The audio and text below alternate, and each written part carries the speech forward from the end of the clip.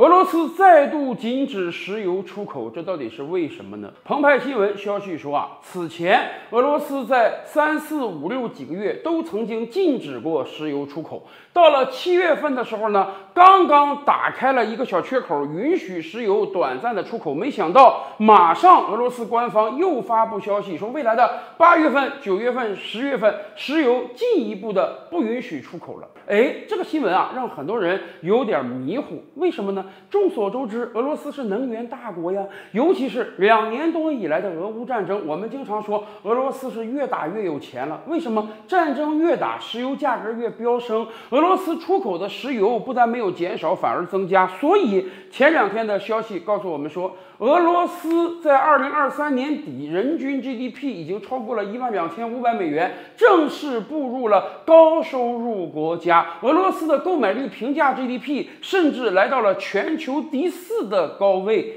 也就是说啊，俄罗斯这两年的经济完全靠石油支撑着。那么，俄罗斯为什么要自断一臂，不允许汽油出口呢？哎，大家搞清楚，俄罗斯不允许出口的呢是汽油，而不是石油。石油和天然气层面上，俄罗斯巴不得再多多出口呢。尤其是此前，俄罗斯主管能源的官员就说啊，化石能源几乎是取之不尽、用之不完的，根本没有什么三五十年之后人类就没有石油了这一说。所以，俄罗斯要趁这个机会越多出口越好。但另一方面呢，汽油和石油是不一样的啊，汽油是要经过冶炼加工才能使用的。以往啊，俄罗斯境内确实有不少的冶炼厂生产出来的汽油足够本国使用，但是由于俄乌战争啊，乌克兰最近获得了很多美西方给予的最先进的武器，他们集中的去打击了俄罗斯境内的炼油厂，导致俄罗斯汽油生产啊大大减少。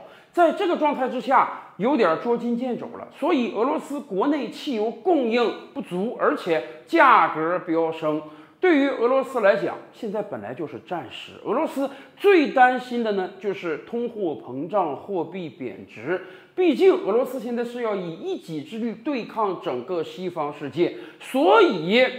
俄罗斯表示说，那既然本国国内的汽油都不够用了，别出口了，通通留在国内销售，以便保证国内老百姓呢能以比较低廉的价格购买到汽油。这对俄罗斯国内经济稳定确实是非常重要的。大家想，俄乌战争两年半之前刚一开打，马上卢布的币值啊迅速的贬损，很多人都是有记忆的。九十年代初，叶利钦推行休克疗法的时候，导致俄罗斯卢布一夜之间一落千丈啊，很多中产阶级家庭的财富被化为泡影了。所以，俄罗斯人对物价飙升是有痛苦记忆的。因此，俄政府现在最重要的一个工作就是努力维持国内物价的稳定，不管是汽油还是其他商品。而美西方其实曾经打过的算盘就是啊，哎，我所有的商品都不出口给你，导致你国内供应紧张，有钱也买不到东西，自然价格会涨上去。那么，俄罗斯就从内部瓦解了。可是美西方没想到，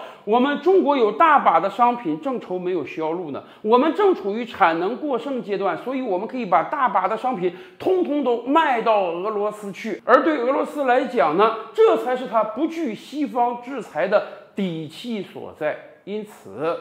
汽油价格高了就不要出口了，保证俄罗斯老百姓的使用，这才是最重要的。